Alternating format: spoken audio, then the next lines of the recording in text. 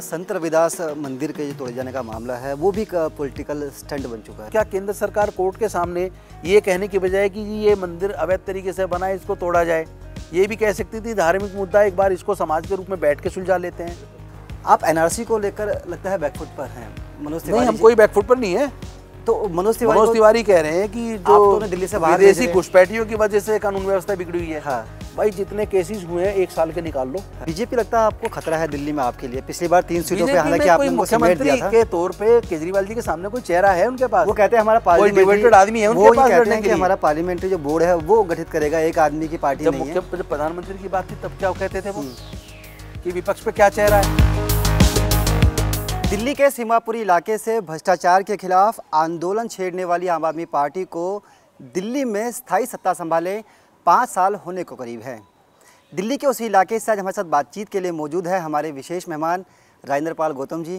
गौतम जी, बहुत बहुत स्वागत है आपका। आप विधायक भी हैं और इलाके से और सर, दिल्ली कैबिनेट में आप मंत्री भी हैं। क्या लगता है, पाँच साल का सफ़र कैसा रहा? बड़ा उतार चढ़ाव वाला मौसम रहा है। चूँकि मेरे खुद करीब करीब 36 साल सोशल वर्क में हो गए मुझे। और मैं अम्बेडकरी मिशन मूवमेंट से जुड़ा रहा हूँ। दसवीं क्लास पास की थी 1983 में। उसके बाद से ही लगातार नॉन स्टॉप मैं सोशल वर्क में रहा हूँ और कई हज़ार प्रदर्शन अब तक पूरे देश में किए होंगे। डॉक्टर बाबा साहेब अंबेडकर जी के बनाए हुए समता सैनिक दल से मैं एक इकाई से नीचे से जुड़ा, गोंडा गाँव की इकाई से।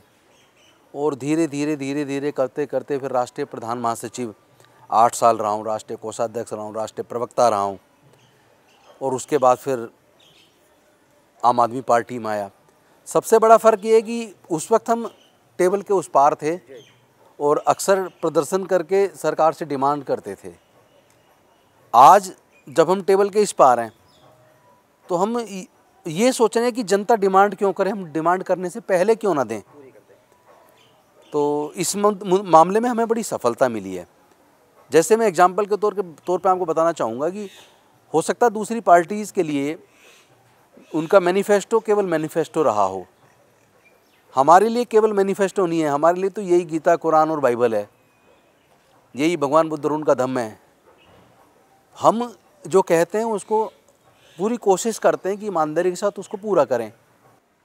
ये प्रेरणा डॉक्टर बाबा साहेब अंबेडकर जी से हमें मिली और हमने उनके लिए एक योजना बनाई, जैसे जय भीम मुख्यमंत्री प्रतिभा विकास योजना।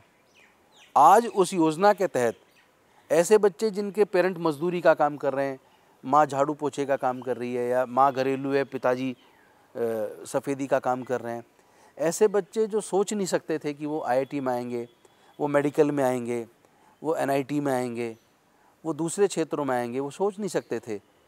तो इस योजना से उनको इतना लाभ मिला कि थोड़ा सा सपोर्ट की ज़रूरत थी उनको।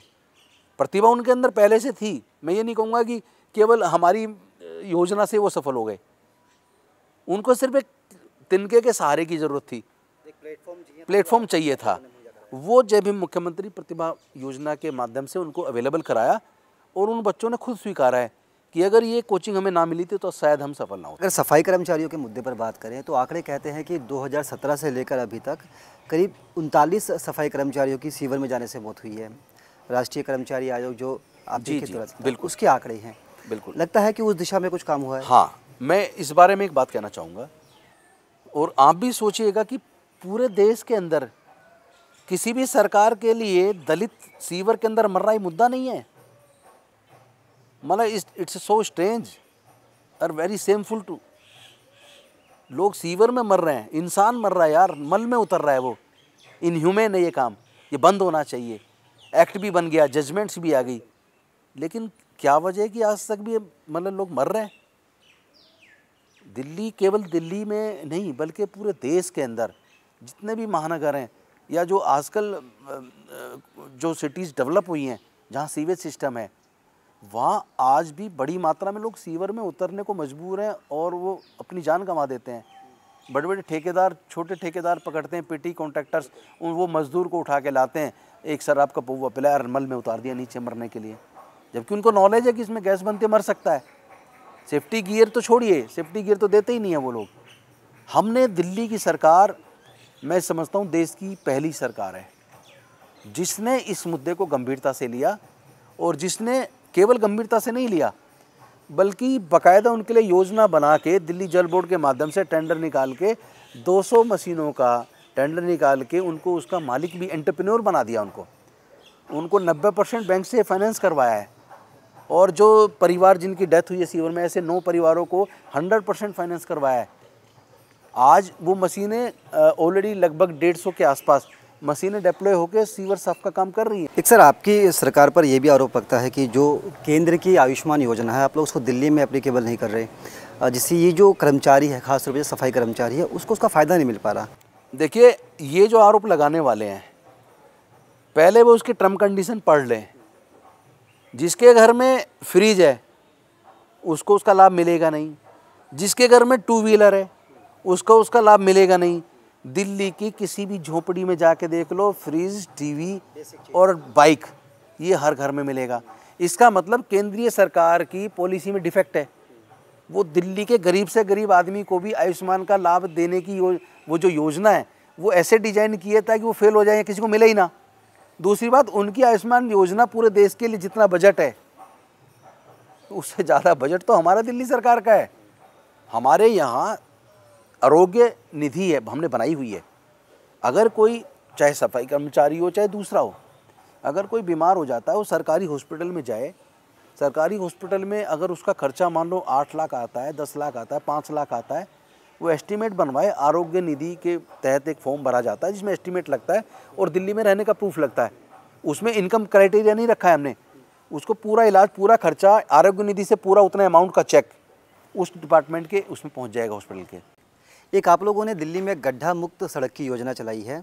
इस पर भी सवाल उठ रहे हैं कि पहले आपने सड़कें इतनी घटिया क्वालिटी की बनाई और जब चुनाव नज़दीक आ गए तो खुद ही उन सड़कों के गड्ढे भरने के लिए उतर गए। देखिए ये घटिया राजनीति भारतीय जनता पार्टी करती है। हम लोग मुद्दों की बात करते हैं मुद्दों पे ही चुनाव लड़ते हैं। हमें चुनाव लड़ने के लिए कोई धार्मिक सहारा लेने की ज़रूरत नहीं है। हम लोग मुद्दों पे काम करके, अपने काम के दम पे लोगों से वोट मांगेंगे। और जय भीम मुख्यमंत्री प्रतिभा विकास योजना जैसी योजना से चमत्कार कर दिया है। इस बार पाँच हज़ार से बजा बढ़ा के पंद्रह हज़ार को एडमिशन दे रहे हैं हम। और एस सी एस टी से दायरा बढ़ा के, अब general category O B C E W S इन सबको भी यानी जिसकी आठ लाख तक इनकम है परिवार की उनको भी उसका लाभ दे रहे हैं। और एक एक करके हमारी योजनाओं को आप देखिए बड़ा नज़दीक क्या से गड्ढा पॉलिटिक्स वास्तव में कोई पॉलिटिक्स है या एक ये फैक्चुअल है ये लगता है? आप अगर देखना चाहते हो तो पंद्रह साल का बीस साल का रिकॉर्ड उठा के देखो। जब जब बारिश होती है तो बारिश के बाद हमेशा सड़कों पे बारिश की वजह से कई जगह गड्ढे पड़ जाते हैं। और वो गड्ढे कोई आज से शुरू नहीं हुए हैं। कहीं गड्ढा होगा छोटा कहीं थोड़ी दरार हो जाती है कहीं पे थोड़ा रेस वो हो जाता है रेसिस आ जाते हैं। तो पैचेज पड़ जाते हैं। वो हमेशा बरसात के बाद पड़ते हैं और बरसात के बाद रिपेयर होती है। तो मुख्यमंत्री जी का मैं धन्यवाद करूँगा कि उन्होंने एक ऐसी योजना बनाई कि सारे एम और मंत्री सड़क पर उतर गए। कि आप 25-25 किलोमीटर, यानी जाना और 25 आना 50 किलोमीटर हो गया।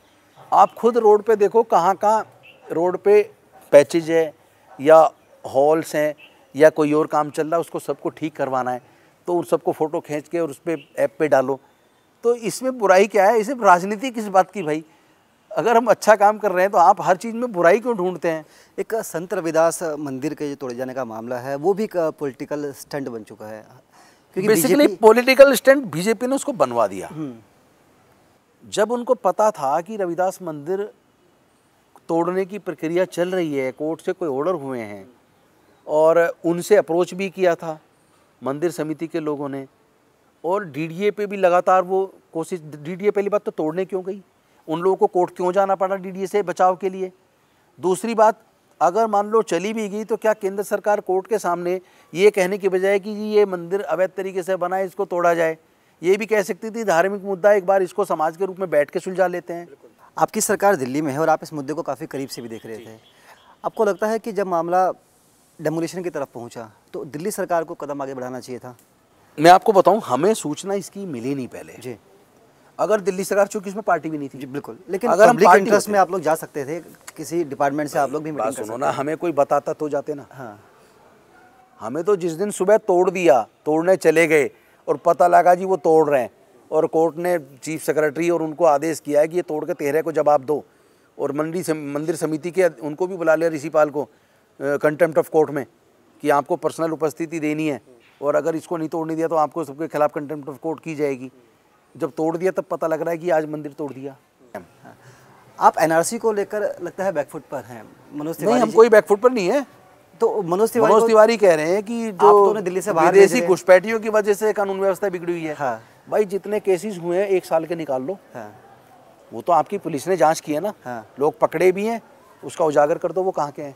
नहीं आप लोग एग्री है एक मिनट। दिल्ली में एनआरसी लागू होना चाहिए। क्यों होना चाहिए? दिल्ली में हमारे नज़र में कोई विदेशी नहीं है। और अगर है तो हम घुसने के दौर उसको पकड़ के अरेस्ट करके कार्रवाई क्यों नहीं करते? लेकिन जो पहले से सिस्टम के अंदर हैं जो दिल्ली की बाउंड्री में आ चुका पुलिस कार्रवाई अपनी करे अगर कोई अवैध रूप से है तो। अगर विदेशी कोई अवैध रूप से तो पुलिस कार्रवाई करे। हमारा तो ये मानना है कोई अवैध रूप से विदेशी यहाँ पे नहीं है। और ना ही ऐसी कोई जाँच की हमारे पास वो है। वो तो पुलिस के पास जाँच का है। दूसरी बात बॉर्डर क्रॉस करके विदेशी लोग अवैध तरीके से घुस कैसे जाते हैं? इसके लिए तो ज़िम्मेदारी कौन लेगा? नहीं कहीं आप लोगों को ज़िम्मेदारी तो नहीं लेना पड़ेगा। आप लोगों को कहीं डर भी है कि कहीं चुनावी मुद्दा ना बन जाए? केवल राजनीतिक मुद्दा है। ये केवल राजनीतिक मुद्दा राजनीति खेलने के लिए तिवारी जी बार बार बात कर रहे हैं। पर प्रैक्टिकली ये सच्चाई नहीं है। पहले तो वो खुद बता दें पुलिस तो उनके पास है ना? सारी एजेंसीज उनके पास हैं वो खुद ये बता दें पिछले आठ साल के अंदर दस साल के अंदर पंद्रह साल के अंदर या पाँच साल के अंदर जितने दिल्ली में क्राइम हुए हैं। उन क्राइम में जो पकड़े गए उनकी लिस्ट बना के एक बार उजागर कर दें। वो भारत के हैं या विदेशी हैं? तो पता लग जाएगा कि वो केवल राजनीति कर रहे हैं या इसमें कुछ सच्चाई है। सर एक सवाल दिल्ली के चुनावों को लेकर। लोकसभा चुनावों में जिस तरह से कांग्रेस ने अच्छा परफॉर्म किया तब शीला जी हुआ करती थी। अब आपको क्या लगता है कि कांग्रेस से भी आपका अच्छा मुकाबला इस बार विधानसभा चुनावों में होने वाला है?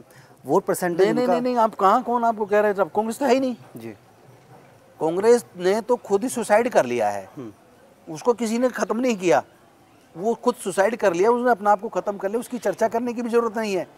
लड़ाई हमारी है और हम पिछले 2015 के चुनाव की तरह भारी बहुमत से जीत के आ रहे हैं। बीजेपी लगता है आपको खतरा है दिल्ली में आपके लिए? पिछली बार तीन सीटों पे हालाँकि आपने मुख्यमंत्री के तौर पे केजरीवाल जी के सामने कोई चेहरा है उनके पास? वो कहते हैं हमारा कोई पार्लियामेंट्री आदमी है वो पास कहते हैं कि हमारा पार्लियामेंट्री जो बोर्ड है वो गठित करेगा एक आदमी की पार्टी नहीं है। प्रधानमंत्री की बात थी तब क्या कहते थे वो? कि विपक्ष पे क्या चेहरा है? मतलब चिट भी तुम्हारी पट भी तुम्हारी। तुम्हें जो सूटेबल लगे वही ठीक है बाकी सब का सब गलत है। ये तो नहीं चलेगा। ये दिल्ली की जनता बता देगी जब चुनाव होगा। हाँ, एक आखिरी सवाल एक आखिरी सवाल। क्या लगता है आपको पिछला इतिहास आप लोग दोहरा पाएँगे या उससे कुछ नुकसान इस बार आपको लगता है कि हो पाएगा? उतनी सीटें शायद ना आ पाए। देखिए जिस तरह की जनता की सपोर्ट दिख रही है जी। मुझे लगता है कि साठ से ऊपर सीट इस बार भी आएँगी।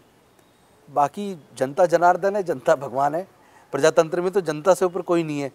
और जनता के लिए जितने काम जिस शिद्दत के साथ जिस जुनून के साथ हमारे मुख्यमंत्री माननीय अरविंद केजरीवाल जी ने किए हैं। जी। और पूरी कैबिनेट ने और सारे एम ने रात दिन एक किया है और किए हुए हैं आज भी। उससे हम ये उम्मीद करते हैं जो जनता का रिस्पॉन्स आ रहा है क्योंकि हम रोज़ जनता में रहते हैं तो जो जनता से रिस्पॉन्स आ रहा है वो ओवरवेलमिंग है। वो लग रहा है जैसे कि पिछली बार को फिर से दोहराने वाली है जनता। सिक्सटी प्लस की आपको उम्मीद है। जी। बहुत बहुत शुक्रिया बातचीत के लिए। तो ये थे दिल्ली के कैबिनेट मिनिस्टर राजेंद्र पाल गौतम जी। पूरी तरह से उत्साह से लबरेज हैं मानते हैं कि पाँच सालों के दौरान दिल्ली में आप सरकार ने जो काम किए हैं, उसका फल इन्हें आने वाले विधानसभा चुनावों में मिलेगा। हालाँकि कांग्रेस को ये कहीं भी चुनौती में नहीं मानते, लेकिन इनका ये भी मानना है कि बीजेपी से अगर सीएम चेहरा अभी से कोई डिक्लेयर हो जाए बीजेपी का तो उसको लेकर आपकी तैयारी और मज़बूत हो जाएगी। फ़िलहाल इस पेशकश में इतना ही। मुझे दीजिए इजाज़त। नमस्कार।